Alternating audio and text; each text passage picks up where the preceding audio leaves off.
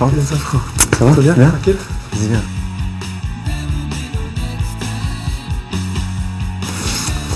Comme d'habitude, nos petits dégradés, la barre bien tracée, bien propre.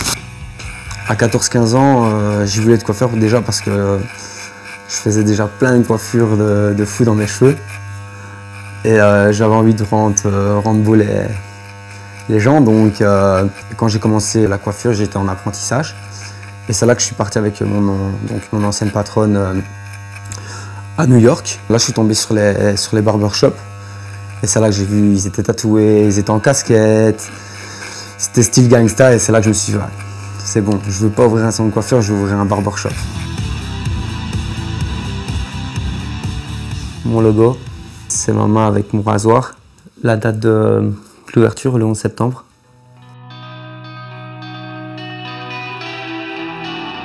En 2009, je suis parti à la Nouvelle-Orléans. Et là, j'ai vu en fait que tous les, que l'ouragan Katrina, tout ce qui s'était passé, c'était, encore bien, bien là. Et donc, euh, j'ai voulu prendre tout mon matériel de coiffure et je suis parti coiffer euh, tous, ces, tous ces malheureux qui ont, qui ont vécu cette catastrophe.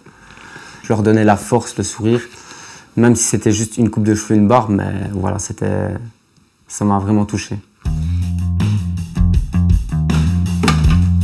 Voilà, ici je vais sur euh, Charleroi. On va aller dans un centre commercial euh, pour aller coiffer. Donc les sans-abri.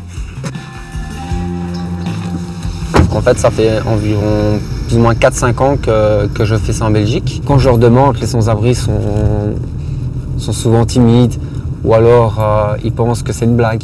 Il y en a qui ne veulent pas se faire coiffer parce que quand ils vont bien être coiffés et tout, mais peut-être les passants, on se dira, ah, mais il est bien coiffé, donc il a peut-être pas, il a peut-être pas besoin d'argent ou peut-être à manger.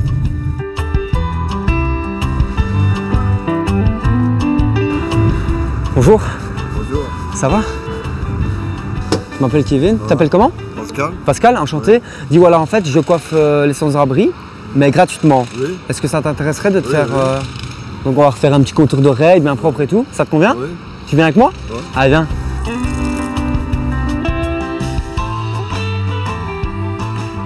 Moi, j'ai jamais vu ça, quoi, pour l'instant, dans la rue. Quelqu'un qui vient vers vous comme ça pour le coiffer, c'est pour, euh, pour vous couper les cheveux, quoi. Pour moi, oui, ce serait quand même un super-héros parce que, euh, allez, il remet le sourire aux gens qui n'ont pas forcément les moyens ou quoi. Donc, ouais, pour moi, oui, c'est c'est chouette. Alors, Pascal, Oui. ça va? Ça se passe bien? Oui, C'est cool? Oui. Ça fait du bien, on se. Oui. Un petit moment de détente, ça fait du bien, non?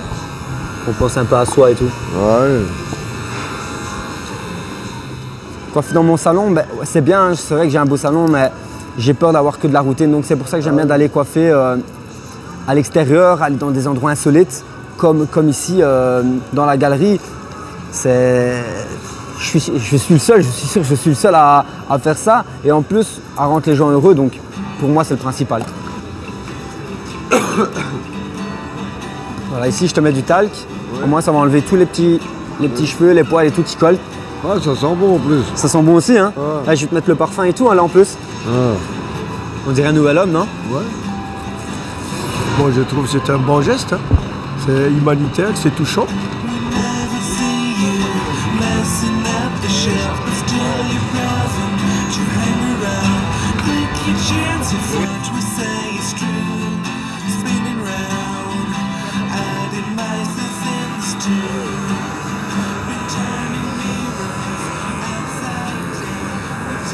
Bien, merci madame. C'est gentil. Euh, J'ai plus de succès maintenant. Oui. C'est vrai, c'est la vérité. Moi, je me sens beaucoup mieux. Plus propre, plus simple, tu vois. Euh, ça fait chaud au cœur.